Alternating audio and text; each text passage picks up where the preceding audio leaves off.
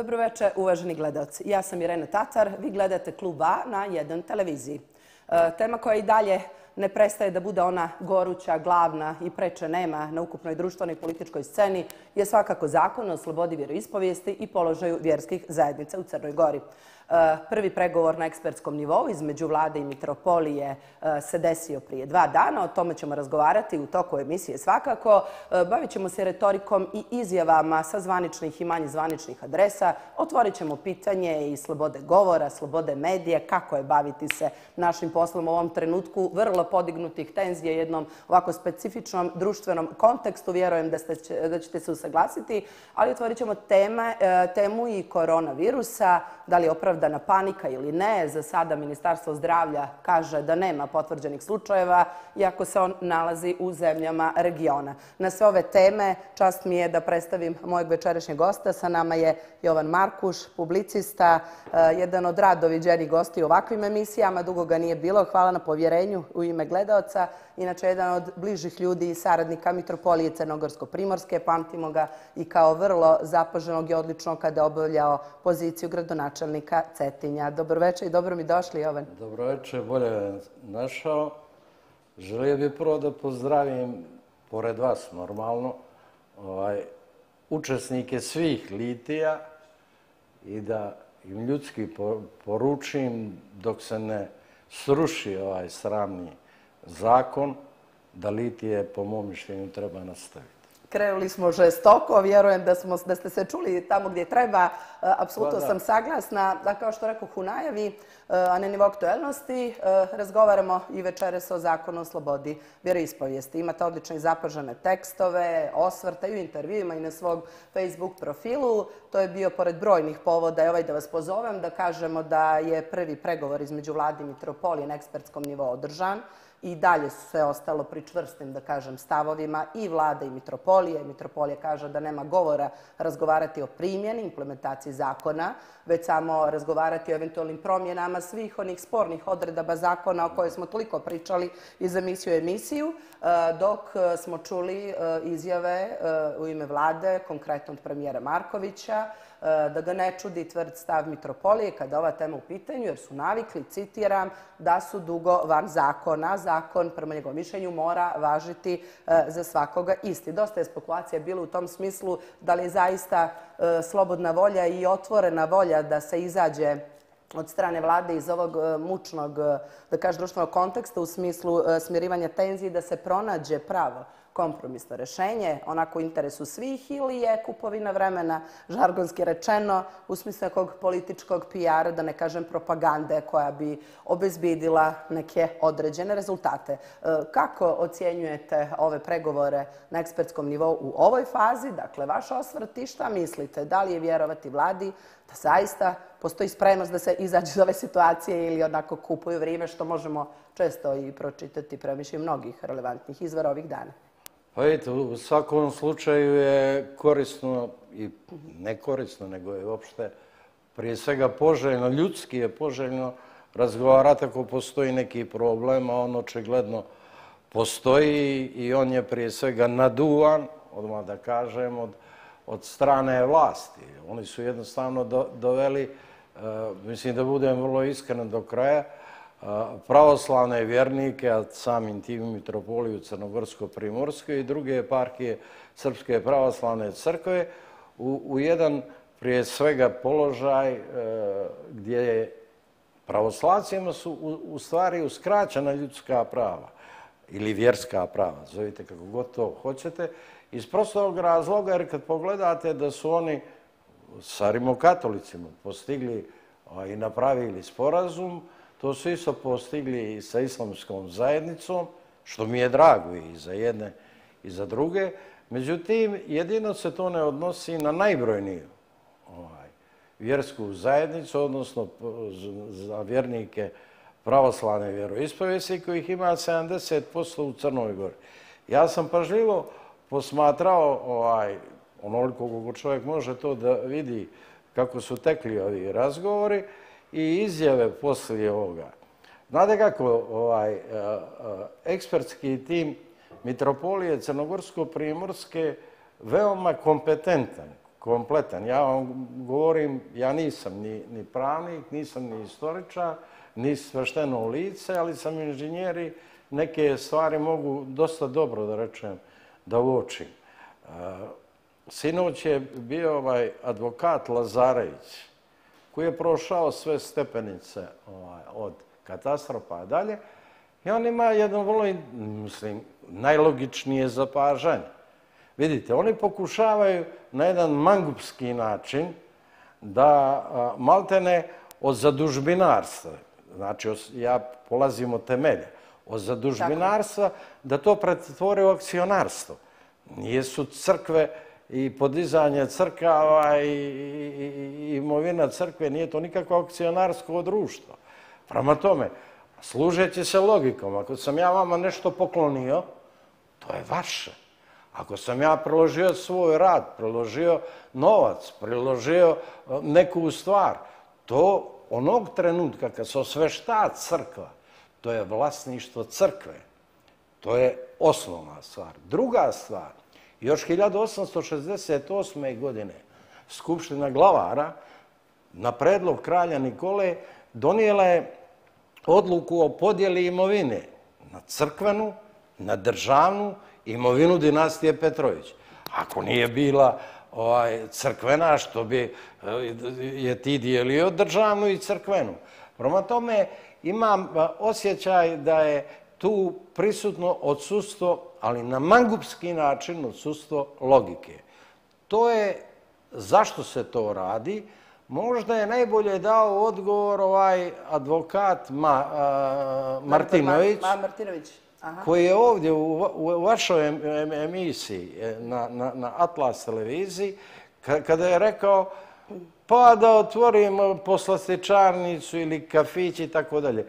To mnogo otkriva kada su u pitanju te unutrašnje namjere. Međutim, ja mislim da je ovaj problem malo širi. Ja bih ga smjestio ja nisam čovjek koji, koji pati od teorije bilo kakve zavere, ali bi ga smjestio u jedan širi kontekst. Vidite, kada, kada pogledate e, mapu, ko hoće da gleda mapu i ko umije da razmišlja, vidjet ćete da vi imate e, jedan neprekinuti niz pravoslavlja. Od Jadrana do Japana, znači Crna Gora, Srbija, Rumunija, Moldavija, Ukrajina sve do Japana, do kraja Sovjetskog savjeza. Ukoliko sam vas razumjela, mislite da je ovaj zakon zapravo svojevrstan udar na pravoslavlje? Pa mislim da je udar na pravoslavlje i čak mislim još nešto. Ovaj, o tome ćemo pričati kad dođemo do koronavirusa. Da, ja, ja to smo ostavili na drugi, za drugi dio Jeste. Ovaj, ja, ja mislim da, da je ovo pa, na, na, na, ovo nije samo udar na pravoslavlje, nego i na hrišćanstvo, a mislim da je ovo udar i na Evropu. Dobro, o tome ćemo nešto malo kasnije. Zahvaljujem za ovaj dio e, pitanja. E, pregovori na ekspertskom nivou, e, i to još da kažemo, će se nastaviti. Zakazane su, koliko se ne varam, za narednu srijedu a premijer Marković je iznio još jedan podatak. E, dosta je bilo spekulacije o tome zašto do sada nije informisao javnost o tome, zašto tek sada govori da na osnovu neizmirenih doprinosa i tako dalje poreza u ovom trenutku Mitropolija državi duguje, dakle, porezi u pitanju e, 2 miliona. E, kako komentarišete, komentarišete tako izjavu u ovom trenutku? Imali potrebe za tako nečem i koliko nas zapravo otuđuje od one prave teme, a to su pregovori, dijalog, da se pronađe najbolje kompromisno rešenje. Litije su sve brojnije, evo i dok razgovaramo gotovo svim crnogorskim gradovima, zaista nezapamćeno, onako građanski bunt, o tome sam dosta govorila. Vjerujem da ste gledali u proteklim emisijama. To je u stvari skretanje ovaj, pažnje sa realnih pregovora. To koliko duguje Mitropolija, to je pitanje. Osnovno je pitanje da li su im oni ispostavljali račune za dugovanja. To se prije svega odnosi na doprinose za sveštenjstvo i tako dalje. Međutim, očigledno da oni nemaju argumenta kada su u pitanju potpuno opravdani zahtjevi Mitropolije za izmjenu zakona.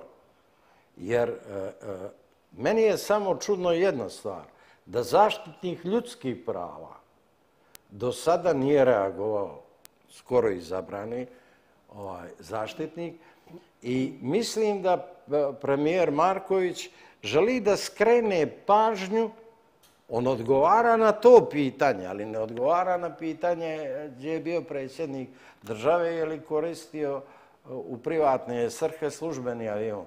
Mislim, tako da... Kao i također ko ima e, e, neizmjerene poreze i od ostalih vjerskih zajednica pa ima i vrlo društveno odgovornih institucija i tako da i tome slično. Da, da, to, to se drži po, po tepi. Ali e, mislim da, da je to čisto politički dribling. Dobro.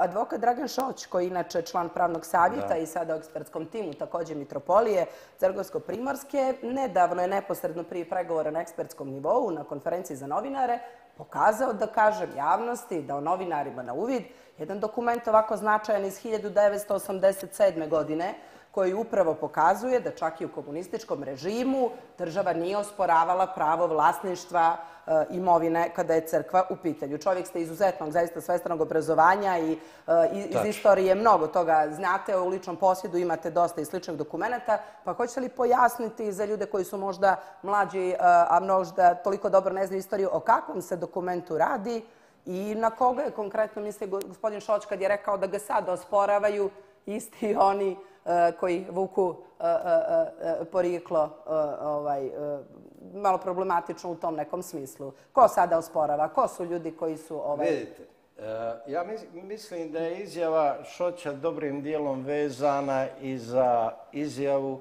ovoga presjednikove kombi partije Ranka Krivokapića, koji se bestidno pojavio na televiziji Crne Gore i obmanjivao i lagao narod. Mislim, ja ne želim ove teške riječi džabe da upotrijebim i bez ikakvih argumenta. Te argumente ću vam sad pokazati. On je rekao da u vrijeme komunizma crkve i manastiri nisu bili vlasništvo crkve nego države. Što je prije svega ortodoksna laž. Vidite, ja imam pred sobom ovo je monografija Cetinskog manastira. U zadnjem dijelu ove monografije nalazi se povelja Ivana Crnojevića i njeno vjekovno trajanje. Znači, od 1484. odnosno 5. godine, sve do kraja Kraljevine Crne Gore. E, zapamtite ovo, e, u to vrijeme kada je osnovan Cetinski manastir, to nije bila Crna Gora, nego je bila Zeta. Ivan Crnojević nije nikakvi gospodar Crne Gore, on je gospodar Zete. Tako si potpisivao. Crna Gora tek ide kasnije. Dobija taj, ustali se, da rečem, taj naziv, poslije 1496. godine. I kad pogledate taj kontinuitet od tada, sve do vremena kralja Nikole, 1895. godine, kada donosi ukaz kojim potvrđuje povelju Ivana Crnevića. I još nešto. E, današnji e, vlastodržci u Crnu Goru, oni, oni se donijeli su zakon o timanju imovine. Ivan Crnojević je donio iste godine, 1485. godine, zakon o zaštiti crkvene imovine. Znači da na, naši vlastodržci žele da nas vrate u srednji vijek, čak ja mislim ne ni u srednji vijek, nego prije iz vremena Milanskog edikta, prije 313. godine ako žele da otmu imovine crkve, a oni to žele. I ovdje je dato kompletni sva, sva dokumenta i, i, i e, Šćepana Maloga i srpskih patrijaraha i vezano upravo za Cetinski manastir. Ko se okrenuti, izvinite, prema, ne, prema kameri možda da slika nešto? Pokazat ću vam nešto vrlo bitno što treba da slika. Hvala. Ovo su vam, na primjer, dokumenta ovo je posjedovni list iz 1929. godine. Krete put ove kamere, molim vas. Da. Poslije toga, znači ovo se odnosi na Cetinski manastir, onda imamo tapiju Cetinskog manastira. Znači, ovo je između ratnog perioda. I ono što je vama interesantno, ovo što ste pitali u stvari za Šoća, ovo vam je dokument koji molim vas da snimite. Moj kamermana da zoomira. Tako jeste, je, ovo je 1961. godina. I fino piše, vrlo jasno, ovaj, vlasnik Cetinskog manastira, upravo Cetinskog manastira, nije uprava zemljoradničke zadruge, nego je uprava Cetinskog manastira. Prema tome, ovo je vrijeme komunizma, 1961. godina, ovo je dokument od Zavoda za zaštitu spomenika, znači od državnog organa. A ako mu je to malo, gospodinu Krivokapiću, imam ovdje, kada su u pitanje crkve u Katunsku nahiju, konkretno na njegušima, imate inventar, na primjer, korenitog imetka. Vidjet ćete ovdje na Lovćenu crkvu svetog Petra Cetinskoga kojega su razorile komunističke vlasti i napravili mauzole 72. godine, fino, čije je to vlasništvo? Ako hoćete iz komunističkog perioda, te iste crkve na njegušima, evo na primjer crkva Svetog Đorđa, 1961. To je saborna crkva Petrovića Njegoša, znači Erakovića. Evo vam ga dokument iz komunističkog vremena. Također, u ovom dijelu gdje žive Radonjići, to je zaseok Krajčevići ili selo Rajčevići, crkva uspenja presvete Bogorodice, pogledajte ko je vlasnik. Crkvena, crkvena opština. Prema tome, te njihove dupoderine i te laži i maži padaju u uvodu pred svim ovim dokumentima. Drugim riječima, Mitropolija Crnogorsko-Primorska, ona posjeduje dokumentaciju o svim hramovima, gdje je nesporno ko je bio vlasnik hramova, što oni kažu do 90, od 93. da je Mitropolija to prepisala. Pa tada je bilo izlaganje katastra, a tu se ne radi o tome da je tada to uvedeno, nego je ovom zvanična dokumenta. I, i, I snaga činjenica koje posjeduje Mitropolija Crnogorsko-Primorska i koju su sigurno na ovom sastanku juče iznijeli ovaj, po mom mišljenju, odličan tim koji, s kojim rukovodi ovaj, eh, eh jedini doktor za odnos crkve i države, Velibor Džomić, mislim da je odličan u tim, on ima e, argumente. A ljudi koji su donijeli zakone, oni su čak tamo, izvinite, i ja koji sam inženjer, mogu da primijetim da su napisali glupost. E, mnogo smo pričali o tome u smislu i analize zaista ozbiljne i temeljne zakonskih okvira i zašto je i ustavnom i zakonskom smislu problematičan neutemeljen ovaj zakon. Tom smislu dosta advokata i vrlo stručne e, pravničke javnosti gostovala kroz ovu emisiju. E, Pringo što otvorimo druge teme, a kratko da vas vratim, niste mi odgovorili. U smislu izjave advokata Dragana Šoća, pardon, ja sam zapisala, kaže, taj dokument su donijeli ideološki, u nekim slučajima i biološki očevi ljudi koji se danas zalažu za otimanje pravoslavnih svetinja. Meni onako to malo e, jako ovaj, odjeknulo, zazvučalo. To je što mislite? Na koga je mislio gospodin Šoć kada, e, kada e, je ovo izjavio? Ovako nešto. Pa očevi ljudi.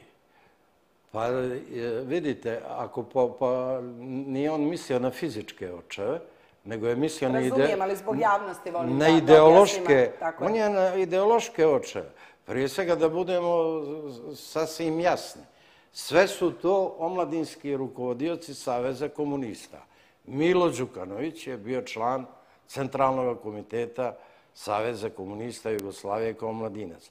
Ranko Kriokapić je također bio član presjedništva Republičke konferencije komunističke omladine, Ivan Brajović je isto to bio. Prema tome, te zakone i, i, i takav odnos su i što će apsolutno u pravu. E, skoro ste govorili u jednom intervju, čitala sam pripremići se za ovu emisiju, e, da ovo ne samo da je udar na pravoslavlje, malo smo u prvom dilu i pojasnili, e, i na hrišćanstvo, nego smatrate da je zaista nešto nezampamćeno u Crnoj Gori u smislu sve brojnih litije, izuzetnog građanskog i duhovnog bunta kojem svjedočimo. Zaista ni jednim, ni sličnim, ni bilo kojim drugim razlogom ovoliko ljudi nije sa ovakvom upornošću i e, kontinuitetom i ovako divnoj, jedinstvenoj energiji izlazije na ulice. E, voljela bi da se osvrnemo malo na taj fenomenološki aspekt ovoga čemu svjedočimo u Crnoj Gori, to jest litija. Koliko se vas razumjela, također smatrate da je ovo maltene istorijski trenutak za Crnu Goru, kao što ste rekli, u kom dijelu na raskršću, odnosno u kom dijelu e, će se okretati. Da li prema Njegoševskoj Crnoj Gori, kao što volite da kažete, ili onoj drugoj? Da malo razgovaramo o toj fenomenologiji. Pa vidite, mene, e, e, ako čovjek pročita ovaj, Jovanac Svića, onda nije nije teško uočiti da smo mi tipični dinarci, ljudi koji brzo planu, ali se brzo ugase. Mene najviše što je iznenadilo kod ovih litija, osim brojnosti, to je i ta upornost. I ovom narodu skidam kapu, ja sam mislio da ga poznajem, međutim, da budem iskren, ovaj, to je za mene bilo iznenađenje, iznenađenje jer mislim da je to neko Božje nadahnuće. Svi smo se iznenadili u tom tijelu. Koje, koje, koje ja, da budem do kraja iskren, ja ne umijem E, e, potpuno da objasnim, čak mislim da to zahtjeva možda jednu sociološku analizu. Da je tu više komponenti se u jednom trenutku e, što vele susralo i rezultat toga vidimo svi Jer ovo je za divljenje, ne, ne samo kada je u pitanje prostor bivše Jugoslavije, nego za čitavu Evropu, a mislim i šire. Jer ovako, uh, ovakve, ovako da rečem, vaspitane, mirne litije, eh, eh, s mnogo mladih ljudi, mnogo razumnih ljudi, stvarno je nešto sa sa čim mi u Crnu Goru treba da se ponosimo. Međutim, ja smatram da tu ima još jedna komponenta, a to je, znate kako, svaki rad se na kraju ipak isplati. Mislim da je, ovo zaslužuje prije svega i pohvalu našem e, mitropolitu i našem sveštenstvu i monaštvu, jer to je ipak 30-godišnji rad. Tako da, ovaj, e, i ovo je istovremeno i jedan revolt naroda na jedno laganje koje je trajao 45. godine do danas. I znate kako, kada djeca ukapiraju da su ih roditelji lagali, onda je to malo, ovaj, znate, veliko razočarenje, za, za svakog čo, normalnog čovjeka i normalna je ovakva reakcija s tim što ja opet kažem, e, nažalost, vidite, e, Crna Gora se danas nalazi na jednoj raskrsnici. Koje ne vidi griješi. E, ako napravimo presjek današnje Crne Gore i ideologije koja je trenutno na sceni, vidjet ćete da to nije nikakva ideologija nova DPS-a ili tako dalje. Nisu oni, kažu, to su uzeli od liberala i tako dalje. Ovo je kopija 1941. godine. Ako gledate elemente, kratku analizu čovjek kad napravi, pa nije jezik crnogorski sada izmišljen. Izmislili su ga italijani i crnogorski separatisti 1941. Ova zastava Nije ni ona slučajna, samo što je Ranko Krivokapić na njegov šef kabineta Radulović, oni su je ofarbali zajedno s Miškom Vukovićem u žutu boju. Također, himna koju su sojili, gdje je dvije trećine ratnog zločinca Sekule Drljevića i koja se prvi put čula u čas njegovog dolaska 12. maja 1941. godine, Vidite, sve ovo, ko ne vjeruje, može neka uzme glas Crnogorca i list Zeta i neka pročita. Također, ovo preimenovanje, govorim o nacionalnom preimenovanju, koje počinje sa drugim svjetskim ratom, odnosno sa Italijanima. Kada Italijani zarobljene Crnogorce počinju da pišu kao nacionalite Montenegrino, nacionalno Crnogorska. Onaj ko nije to tio da prihvati, njemu je slijedio progon iz Crne Gore. Tako je otac velikog književnika Borislava Pekića, koji je bio načelnik jednog odeljenja u Zetskoj Banovini, tada bio proćeran. Prema tome, e, sve se, ovo je sve već viđeno. A odakle je taj, da rečem, koncept od koga je prihvaćen? Pa do, i Sekula je došao iz Ustaške države Hrvatske. Odnosno, temelj je Hrvatska stranka prava, koja je nastala 50 godina ranije sa svojim idejama, koja nas je pretvarala u crvene Hrvate i tako dalje, prije nego nacizam i fašizam u Evropi. Prema tome, mi se nalazimo na jednom raskršću. Da li će Crna Gora da ide putem ustaškog ratnog zločinca Pavelića ili putem Petrovića Njegoš? Čiji smo mi dio? Vidite, danas čovjek može da se, što sa mene tiče, da se osjeća kako on to hoće, iz političkih ili iz drugih razloga, to je njegovo pravo. Međutim, ono što kod mene stvara veliki revolt je to što to pravo pokušavaju da falsifikuju našim predsima. Naši preci su se do 1942. godine svi u nacionalnom, odnosno etničkom smislu osjećali Srbima. Ko pokaže meni drugi dokument, evo ja ću glavu napanj, a ja ću mu pokazati dokumenta koliko hoće. I, i, I između ostalog, kada ova mladost ukapira da su je lagali 50 godina počevši od ovog detalja i za mnoge druge stvari, onda nije ni čudo da, da taj nagomilani revolt na jedan, opet ne, kaže, mene objaš, neobjašnjiv način se na ovako kulturan način pokazuje. Imam još nekoliko stvari koje bi željela, nadam se da ćemo stići da vas pitam, pa bi moja sugestija bila uh, i molba da malo ubrzamo tempo u smislu što konciznih odgovora živije programa, ograničeni smo formatom trajanja. Uh, jedan ste od uh, ljudi koji su izuzetno bliski mitropoliji Crnogorsko-Primorskoj, rođeni ste Cetinjanin, pamtimo se kao izuzetno uspješnog i ovaj, odličnog, da kažem, vrijednog i čestitog gradonačelnika Cetinja. Logičan slijed da ste i sa mitropolitom postali prijatelji i tome slično, upozoravali ste više puta da u hibridnom ratu ni mitropolija neće biti pošteđena i da ovo je bilo potpuno očekivati za vas u smislu i napada na mitropolite. Dosta se ovih dana spekulisalo i oko e, materijalnog bogatstva, posjeda njegovog i tako dalje, da kažem ovo zemaljskog, E, možete li nam otkriti, kao neko ko je zaista blizak i mitropolitu i mitropoliji, nadam se da nije ovaj, e, prilično nepristojno pitanje, e, šta je to što ovako kopka gledalca, sem onih nekoliko hiljada knjiga, naslova koje čini mi se mitropolit zavještao manastiru Stanjeviće, šta posjeduje mitropolitom Filohije? Pa vidite, ja sam prijatelj sa mitropolitom Amfilohijom od 1988. godine a posebno smo se zbližili 89. godine, kada je mitropolit bio ključni čovjek u Srpskoj pravoslavnoj crkvi, tada je bio episkobanatski, za prenos zemljih ostataka kralja Nikole. I on je bio glavni besjednik na svetoj arhijerejskoj liturgiji na dan sahrane kralja, kraljice i njihovih čeri na Cetinju. Što bi mnogi željeli da izbrišu, ali mitropolit je s te strane najzaslužniji čovjek.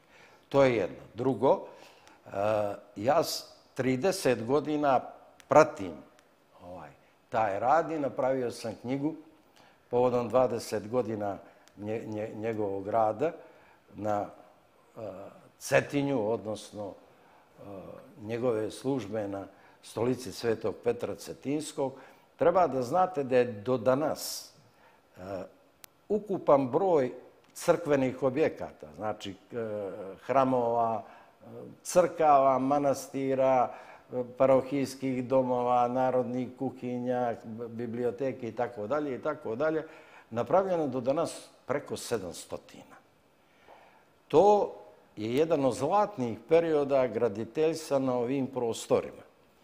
I tu se ne radi o samom graditeljstvu, nego i sve to što je pratilo e, stvaranje monaštva, svečtenstva.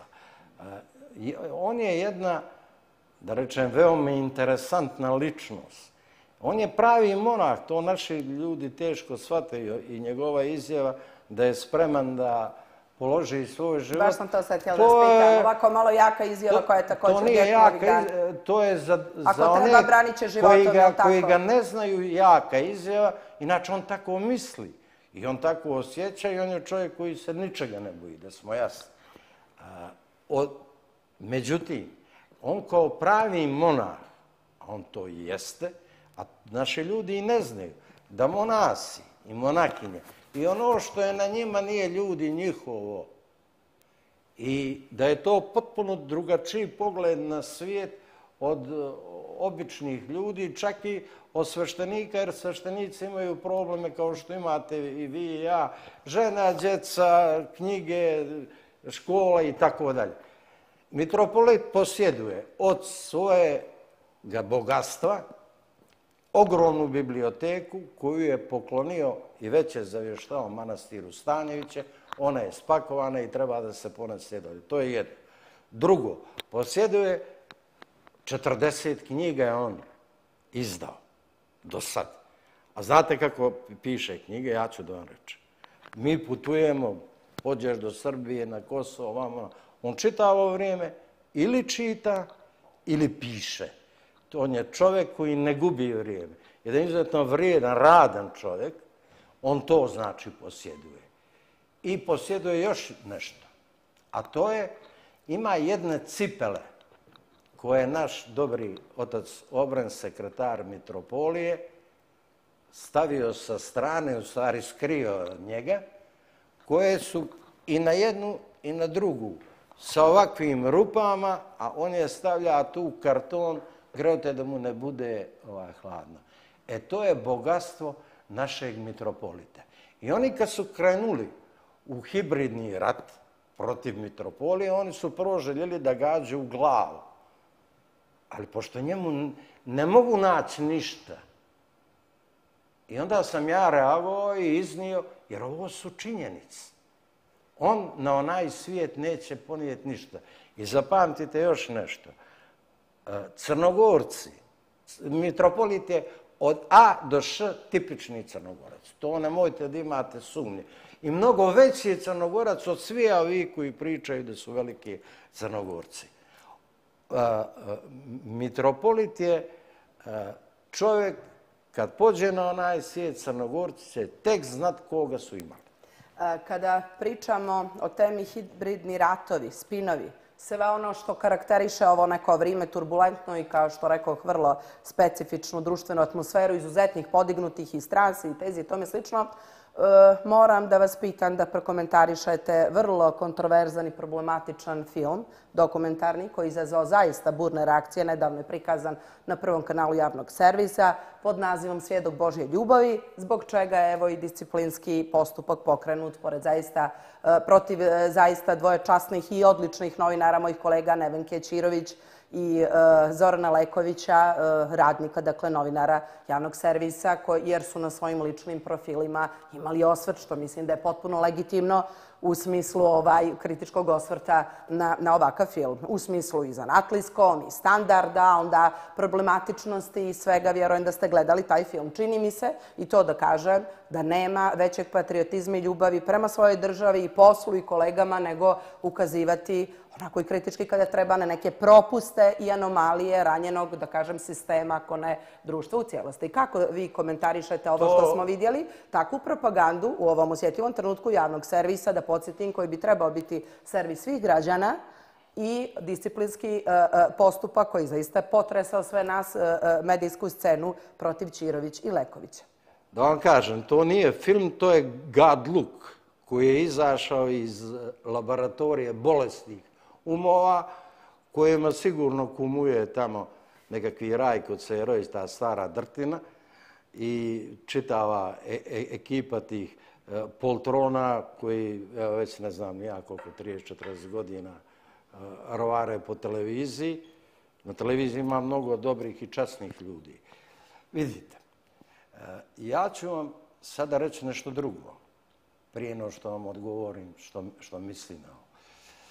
E, Jednom prilikom, ja nikad nisam poznavao gospođu e, Bošković-Ćirović, Pošto sam ja napravio knjigu Grbovi zastavi i himne u istoriji Crne Gore, bila je neka emisija gdje su učestovali ljudi na, na te i slične teme. I ona, ne poznajući, ali znajući da sam ja napisao tu knjigu, pozvala me kao goste iznenađenja. Ja sam potpuno otvoreno, kao što i sada ovaj, pričam.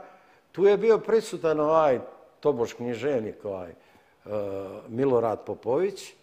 Govorite o emisiji Replika, odlično je zapaženo na njenoj, da, svi se sjećamo replike, zaista kultna emisija. Ja sam tu pokazao pasoš njegovog plemenika, Krsta Popovića, gdje mu fino piše da je nacionalno srbin.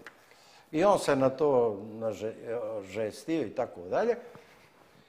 Međutim, ja pojma nisam imao žena ni kriva ni dužna, koja me nikad u život prije toga nije ni srala ni vidjela, koja je pozvala po, po jednom kriteriju, jer izvinite, ja sam napravio knjigu o grbovima zaslanih imena u istoriji Crne Gore.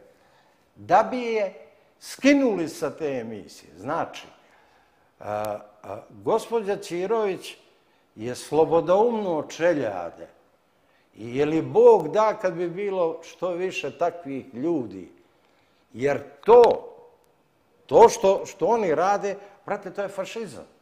Ja nemam drugog... Ja bih to nazvala mobbingom, jer pratim njen rad odličan, znamo se i privatno, zaista što trpi godinama. Najgore vrste. E, e, Evo neka mi ne zamjere kolegi, pozdravljam ih, ima dosta častitih i divnih ljudi, ali odnosi se na uređivački dio. I top znači, nije ovo krenulo od sad. Gospodja Cirović je pod mobbingom mnogo duže. A i gospodin ovaj Leković, ja njega ne znam.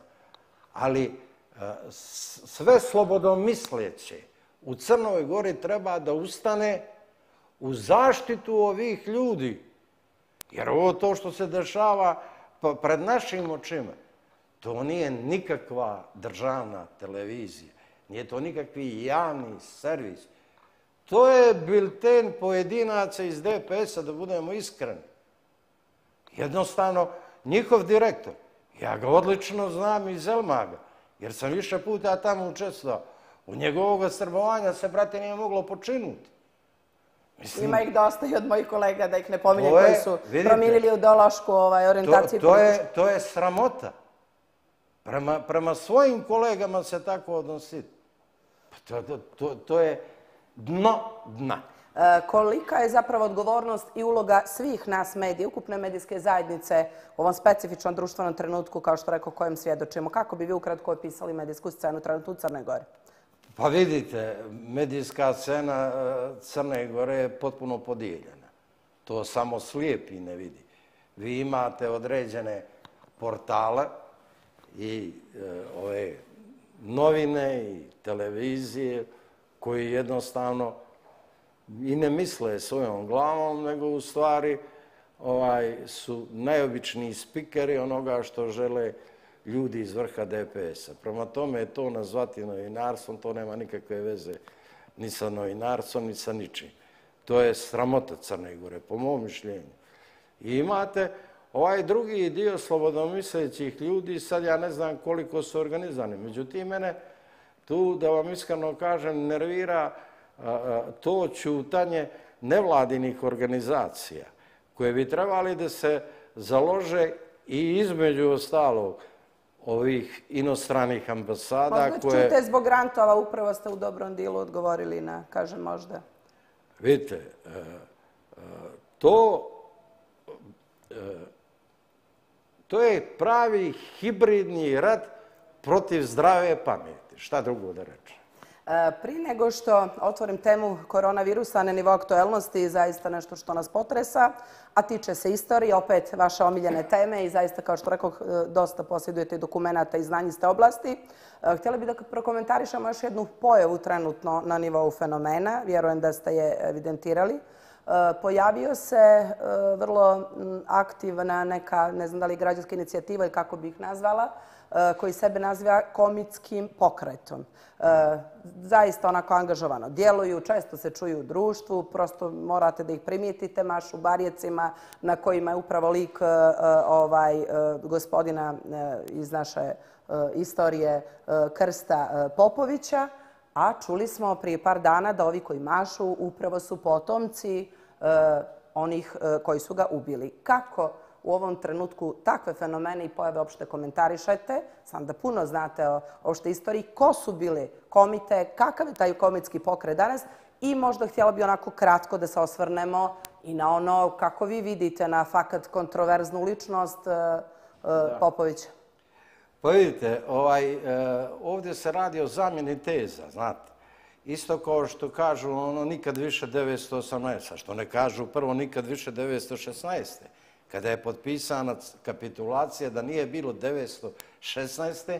ne bi bilo 918. Mislim, to je... Komitski pokret je nastao za vrijeme Austrugar, kraj austrugarske okupacije praktično. I komiti su ljudi koji su oslobađali Crnu Goru od austrijske okupacije kada je preko Solunskog fronta krenula vojska po rukovodstvom Franše de Perea koji su činjeli saveznici. U Crnoj Gori se javio pokret kojim je rukovodio Lakić Vojvodić, da smo jasni. On je bio tu ključna ličnost. Također, otac Velika Vlahovića, Milika Vlahović je bio jedan od glavnih komita. Također, Jelma Radović, vrlo bliski rođak našeg mitropolita. Pa on vam je oslobodio Nikšić. I ako treba da podignu spomenik nekome, treba da podignu njemu. A što se ovdje radi? Poslije ujedinjenja 1918. kada je stvorena kraljevina Srba, Hrvata i Slovenaca, tada je bio jedan dio ljudi koji su učestvovali u Božićnoj pobuni, oni su se borili protiv te vlasti. Ali izvinite, oni su se borili protiv legalne vlasti kraljevine Srba, Hrvata i Slovenaca. A oni sad hoće da kažu da je protiv srbijanske vlasti. Što nije tačno. Vidite, ne kažu Srbi, e, Srbi su okupirali. Kako je moguće ako su svi crnogorci do tada bili Srbi, uključujući i Krsta Popovića, govorim u nacionalnom smislu, kako je moguće da jedan narod okupira sam sebe? To je nečuveno. Ti ljudi su se smatrali odmetnicima i regularna vlast se obračunavala s njima. Među njima je bilo raznih profila. Prema tome, to nije su ti komiti. A oni žele to da poistovjete. Pravi komiti su ovi koje sam vam rekao, koji su se borili protiv austro-ugarske okupacije. Kada je u pitanje Krslo Popović, ja o tome, e, vidite, istorija će dati što vele ocjenu o svakom čovjeku, pa će dati i o Krsu Popoviću. Ja prema Krsu Popoviću, uh, uh, ima, kada je on u pitanju, ja imam potpuno izgrađeno, da rečem, svoje mišljenje. Krso Popović je bio junak Samojkovca, kao mnogi crnogorci koji su bili zelenaši. Zelenaši i bjelaši su se razlikovali u listama, a nacionalno su bili i Bjelaši ili naši Srbi. E, Krsto Popović je bio hrabri čovjek. On je položio zakletvu u kralju Nikoli i dok je bio živ kralj Nikola, on se držao te zaklete. Kasnije on položio zakletvu u kralju Aleksandru, njegovome unuku, i dok je bio živ, držao se te zaklete. Na sramnoj Petrovdanskoj skupštini, koju je organizao Sekule Drljević, zajedno pod pokroviteljstvom fašističke Italije i nacističke Njemačke, Krsto Popović nije učestvao. Tačno je da je Krsto sarađivao njegov pokret je sarađivao sa italijanima. Ali sarađivali su i komunisti s njemcima i četnici su sarađivali isto sa italijanima. To je ratno vrijeme. Tu je sarađivao, da budemo iskreni, svak sa svakim. Međutim, ono što ja cijenim kod Krsta Popovića, on nije bio nikakav zlikovac. On je katunsku nahiju sačuvao od bratubilačkog rata. E, znači, to se na kraju dešava. Starca Krsta Popovića 47. godine ubija Udba, odnosno oficiri Ozne i Ljudbe, nije bitno, kojom rukovodi jedan od kasnijih narodnih heroja, Veljko Milatović. E sad, gospoda, ne možete da kličete žrtvi i čoveku koji je rukovodio, zovi ga dželat, zovi ga kako god hoćeš, koji je rukovodio njegovim ubijstvom. No, ako se već e, pristali sa da rečem, svaki čovjek ima pravo da, da se opredeljuje ovako ili onako.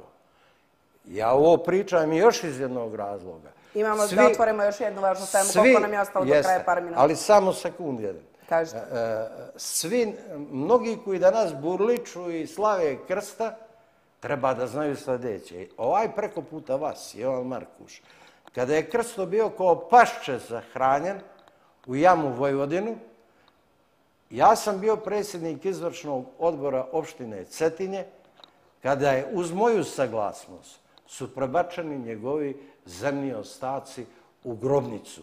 Jer i pse to ima pravo da bude sahranjeno na, na ljudski način, a ne čovjek. Prema tome, sramota je jednog takvog junaka i sin isto velikog junaka da ga u, u dnevno političke svrhe na jedan vulgaran način zloupotrebljavaju upravo potomci onih koji su likvidirali Krsa Popović. E, još jedna važna tema, svakako neizbježna koja nas je potresla ovih dana, i jedina je bar na trenutak, e, kažem, posljednjih nekoliko dana stavila ovu temu Zakon o slobodi vjeroispovesti po strani. A to je paničan strah sugrađana, možda opravdan, možda ne, kada je u pitanju epidemije koronavirusa i kod nas. E, dakle, evo, čuli smo juče je proglašana i zvanično pandemija u svijetu koronavirusom. Sve zemlje susjedne imaju E, e, već e, dakle, inficirane osobe. Ministarstvo zdravlja i vlada kaže još uvijek kod nas nije ni jedan potvrđen slučaj. Nemile slike smo vidjeli polupraznih škafova, ljudi su upali u paniku, kupuju zalihe hrane i tako dalje, možda malo ovaj strah i panika iracionalni i tako dalje.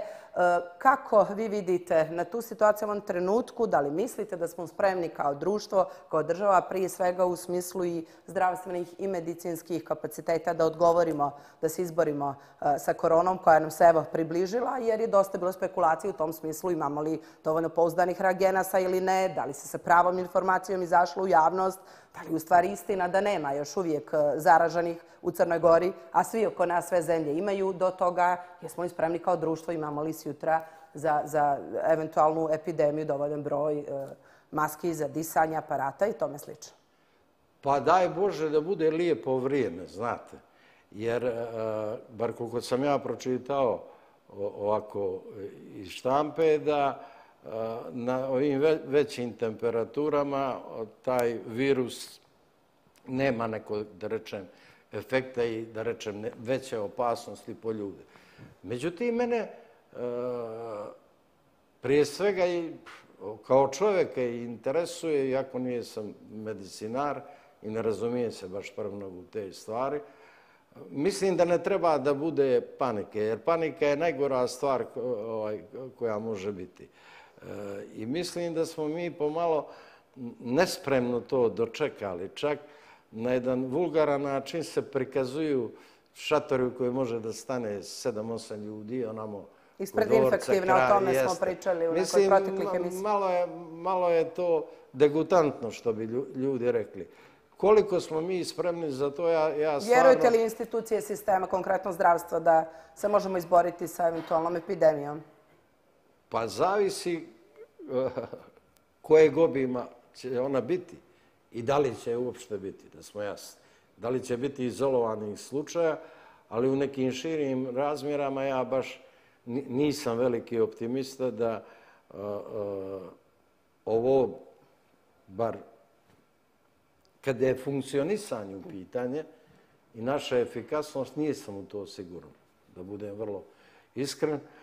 Međutim, Kako je sve to nastalo za mene? E, za mene bih, htjela bih o tome da porazgovaram uz što prekidam toliko imamo vremena, znači e, par minuta. E, vaš osvrt na izjavu koja je bila ovih dana na portalima jednog profesora sa ekonomskog fakulteta, čini mi se, iz Zagreba. Mislim da je Lovrinović, to mi slično čini mi se da ste i vi šerovali ovaj, na Facebook profilu taj tekst koji kaže da je zapravo riječ o biološkom ratu s pomoći podršku medija koji ima za cilj geopolitičke eh, neke, neke razmjere. Koliko mislite da je to spin, odnosno teorija zavjere i koliko ima istine u tome prema njegovim ričima SAD ovo zaista s nekim razlogom želi raditi eh, eh, i koronom želi uticati na konkurente, a to je definitivno Kina i Evropska unija u tom nekom ekonomskom i geopolitičkom smislu. Bar sam ja tako doživjela te izjave gospodina Lovrinovića. Ja nisam pristalica teorija zavjere, ali sam pristalica logičkog rasuđivanja. Vidite, kada je izbio rat u Jugoslaviji, ja sam želio da ta Jugoslavija se očuva, da smo jasni i da uđe u Evropsku uniju. E, svi su počeli da optužuju te ovoga, te onoga kriv za raspad Jugoslavije, a ja mislim da je kriva Amerika za raspad Jugoslavije. Zašto? Iz prostog razloga, ako imate dvije konkurentske firme. Jedna je velika Evropa od 500 miliona ljudi, a na drugu stranu imate jednu ipak slabiju Ameriku, jer Evropa ima sve resurse od istorijskih, da ne pričamo sad o tome. Šta vi, ako hoćete da uništite konkurenciju, vi ćete da izazovete požar ili neki drugi haos u, kod svoje konkurencije. To je urađeno, po mom mišljenju, na Balkanu. Balkan je uvijek bio poznat kao bure baruta. Sve mi ovo liči što se danas događa sa, sa koronavirusom, upravo na tu situaciju. Koga gađu Amerikanci? Gađu jednu od najjačih ekonomija na svijetu, evropsku, i to je gađu preko Italije, da se vlasi ne dosjete što kažu, Ne gađaju ni Njemačku ni Francusku, ali gađe se Italija.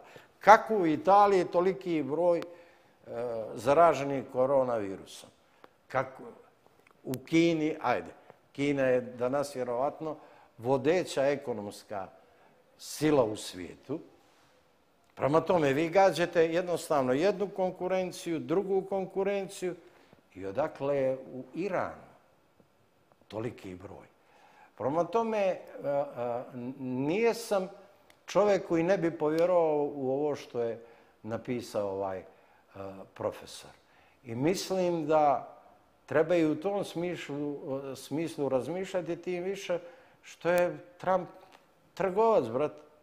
I on ima rezon menadžera, trgovca, odnosno biznismene, kako hoćete. Tako da nisam daleko od tog razmišljenja. Prije nego što se odjavimo, 30 e, sekundi imate, obično to je manir e, moju u ovim emisijama za sve goste, znači vaš e, odabir da nešto kažete, saopštite, obratite se našim gledalcima širom svita, srećom dosta nas gledaju i javljaju se Ivani u regionu, ne samo u našoj državi. Izvolite. Pa, pa prvo želim da ovaj narod se spasi od ovog virusa, da budem vrlo iskren, jer to je bez obzira na sve, mislim, to, to je osnovna obaveza svakog čovjeka. A drugo, ili da ne rečem prvo, je da se zahvalim svim učesnicima Litija sa željom da nastave sa Litijama sve dok se ovaj sramni zakon ne izmijeni, odnosno da se ne izmijene ti članovi koji realno ovaj, eh, zakidaju ljudska i vjerska prava pravoslavnog življa. Jer to, mislim da tu treba da svi vjernici budu složni. Da li se radi o muslimanima, da li se radi o rimokatolicima, svi se nalazimo u istom košu i mislim da svi treba da damo adekvatan odgovor neodgovornim vlastima. E, hvala vam na povjerenju me gledalca. Zaista mi je bilo prijatno razgovarati sa vama. Nije vas dugo bilo u medijima, uvijek rado viđen gost. E, hvala vam još jednom. Hvala. E, uvaženi gledalci, to je bio još jedan klub A. Moj gost večeres Jovan Markuš, publicista. Vidimo se sa nekom sličnom tematikom u rezervisanom terminu sljedećeg četvrtka. Ostajte mi zdravo. Do gledanja.